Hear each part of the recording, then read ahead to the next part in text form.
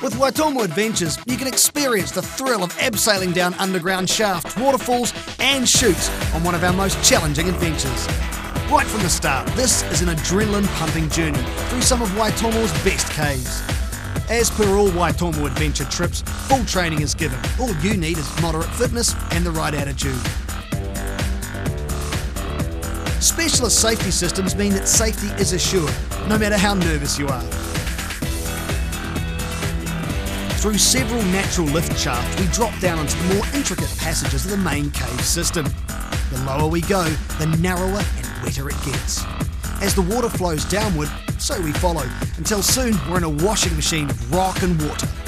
We rate Haggas as a Rambo 8 out of 10 because it's such concentrated caving, but we're always amazed at how complete novices rise to meet the challenge. Like the Lost World Abseil, it's a challenge of the mind more than anything and a chance to push personal boundaries.